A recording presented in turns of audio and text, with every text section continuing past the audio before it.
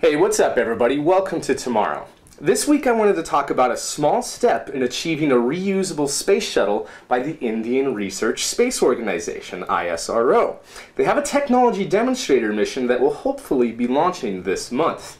This is your space pod for May 18th, 2016.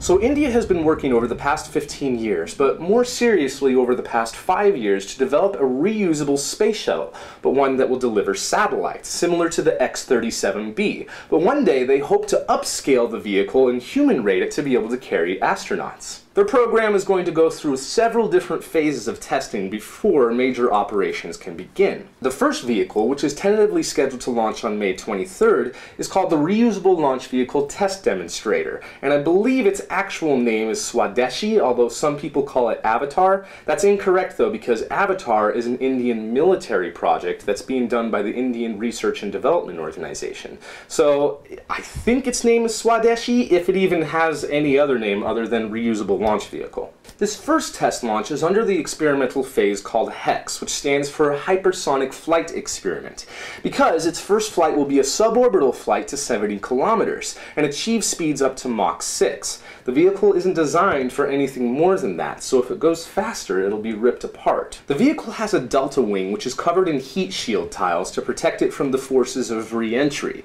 and in the future it will be able to deploy satellites from a cargo bay, although this vehicle doesn't have a cargo bay. And the whole point of this flight is to test to make sure that they have the right design for all the different aerodynamics and that it'll be able to survive re-entry. The reusable launch vehicle will be lofted by a modified inline solid rocket booster, the HS-9, which is based on the S-9 boosters used on the PSLV rocket. And it has a different mixture ratio and will burn much longer than the 70 seconds that the SRBs usually fire for. This will allow the vehicle to reach its intended height and speed. When the vehicle re-enters, it's going to do a virtual landing over the Bay of Bengal. What that means is it's going to glide onto the water and sink. The reason for this is because they don't have a runway long enough to receive the vehicle. They do plan to build one near the launch site on Sriharikota Island near the Satish Dhawan Space Center, which would be similar to the shuttle landing facility in Cape Canaveral, Florida. But at the time of me filming this video, I don't have any information as to when they plan to build that runway. So if you guys have any information on that, please let me know. However, once they have a runway, they're going to be able to move on to their next phase of development, which is called LEX, or Landing Experiment, which would see the same type of flight profile, except the vehicle, I think, would be able to turn around and then glide to the runway at the landing. And then the next phase of the testing would be REX, or Return to Flight experiment. And what this would be, would be testing to see if their hardware is actually reusable. So whatever vehicle is recovered during their LEX experiments would be flown again for the REX experiments, and hopefully that all goes well. Finally, the last experimental phase would be to give the shuttle its own propulsion. And the type of propulsion that they want to give it is an air-breathing scramjet. And in India, they've actually been testing scramjets for a couple of years, although I don't know enough about their scramjet program to have an opinion as to whether it will be successful or not.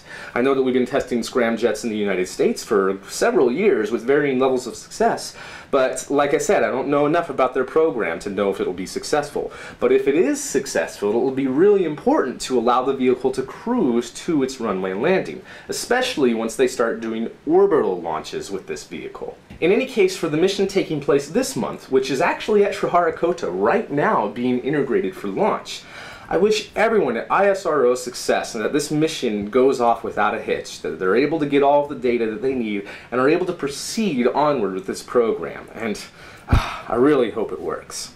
So what do you think about this? Do you think that ISRO will be successful? Do you think that they need a vehicle like this? Also, do you think that they might abandon their plans for having an orbital crewed capsule in favor of an orbital crewed shuttle?